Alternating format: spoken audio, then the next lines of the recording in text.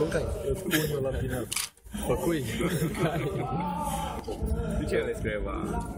Am simțit că a fost un grup care cu adevărat m-a dorit.